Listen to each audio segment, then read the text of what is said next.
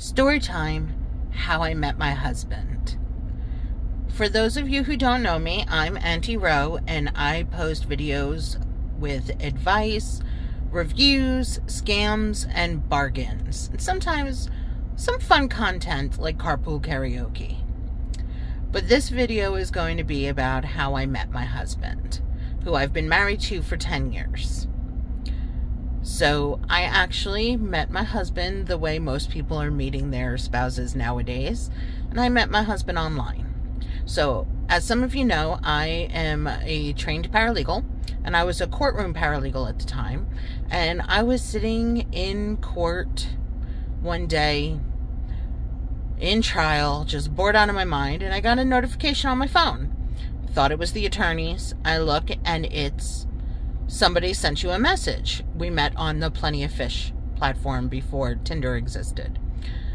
So he messages me, and it's not this usual, hey, what up? He actually messaged, you have beautiful eyes. So I was raised, you always say thank you when you receive a compliment. So I responded back and said thank you. I later told him he was a genius for starting with a compliment because it's opened up communication. Well, I was in trial for the. We started talking the rest of the day via text message, and then we were on the phone all night while I was working. And we proceeded to do this throughout the entire trial. And for the next three months while I was on trial, vacation, trial. And then finally, we're supposed to have our first date in person three months later. The day of our date, I literally had just gotten home from a trial the night before. So I call him and I ask if we can push the date back an hour. He thinks I'm calling to cancel. So no, no, no, I just need to push it back. Because girls, you know, and boys, you may not know, when girls are getting ready for a date, especially a first date, there is primping and plucking and poofing and beautification that takes at least an hour so that we can look our very, very best for you guys.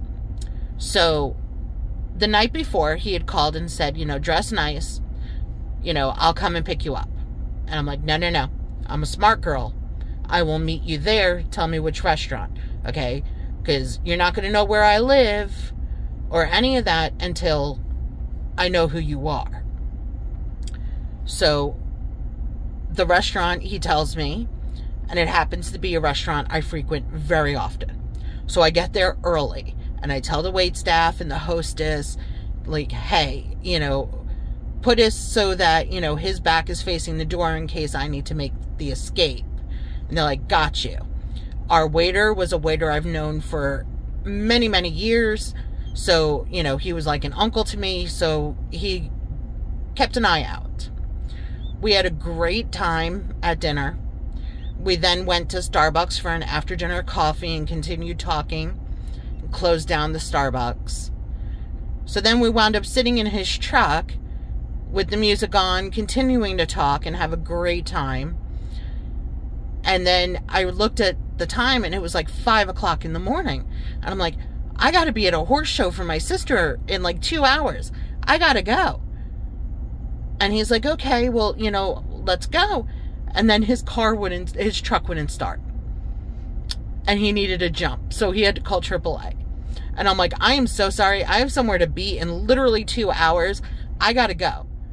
Please call me and let me know you got home safe. And I literally left him in the parking lot of the restaurant. And I'm like, I am never hearing from this guy again. It's over. And wouldn't you know, he called me when he got home to let me know he got home safe. And I'm like, okay, well, thank you for calling. I had a great time. I hope, you know, we can do it again sometime. I did not plan on ever hearing from him again. I mean, I just flat out ghosted him and left him at that restaurant. Wouldn't you know, about six hours later, he texted me to ask how the horse show was going. So then we had a date a couple of days later we went to dinner and a movie. And then we had another date. We were supposed to have another date in a couple of days. And the day of the date, I'm like, listen, I'm on a deadline for projects. I really can't go out. I got to get this done. I have meetings tomorrow. And he's like, don't worry. I'm going to come and bring you dinner. and I will keep myself occupied. And I'm like, I don't want you to be bored. I've got to get this stuff done. And he's like, listen, I know you. If I don't bring you something to eat, you're going to get so involved with work that by the time you stop, it's going to be too late to eat and you're just going to go to bed hungry. So I'm going to bring you dinner. And he did. And to keep himself occupied, he cleaned my kitchen and bathed my dog. But on top of that, my mother and my sister both came down at different times to my condo to talk to me or get something. So they met him because I forgot to lock the door or tell them I had company because I was supposed to be working. So both my sister and my mother met him on our third date. So then that weekend, uh, we were supposed to meet my friends and hang out. So we wound up hanging out for the weekend. Well, Sunday night when he had to go home, I was like, well, hey, you know, if you want to come back tomorrow or whatever, and you decide you want to, you know, it's late and you want to stay the night, like, why don't you leave some stuff here, like uniforms and toiletries? So, like, if you're here, you don't have to leave. And you can just go to work from here. So it's the next day and it's about 7.30 at night and I have literally not heard from him all day. Now I'm thinking, okay, asking him to leave some stuff here, I overstepped the line and now I'm never going to hear from him again. And uh, with that, my front door swings open and in he comes carrying a big screen TV. And I look at him like, what the fudge? is going on. He said, Don't worry, I'm going to find a spot for everything. And I mean, I said, What do you mean everything? Next thing you know, all the clothes come, everything comes, the PlayStation, everything.